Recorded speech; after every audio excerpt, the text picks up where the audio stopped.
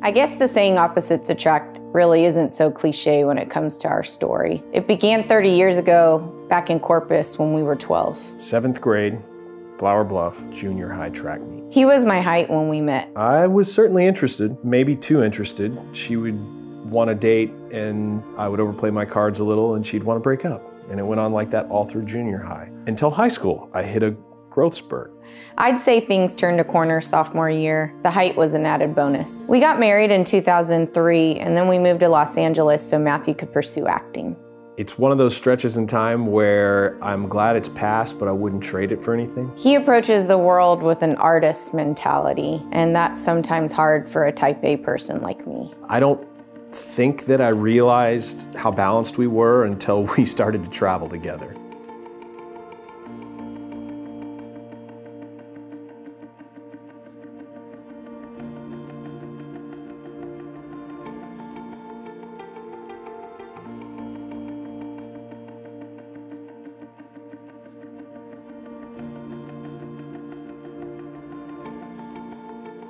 At some point, it became clear that our differences were actually our strengths.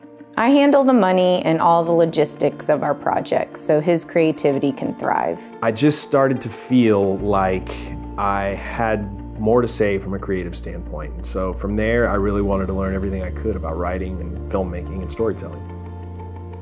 When we started using the Griffyn Co. logo, he was teaching seventh grade and moonlighted all of his projects on nights and weekends. Because we've started it all with just the two of us, we've had to keep things simple. I can't tell you how many times I've been on projects where we ran into problems and the instinct was to throw more money, more resources, better cameras at it. And the truth is, if you don't have a story, no cinema camera, no amount of flashy effects can save it. A good story, on the other hand, can just about save anything.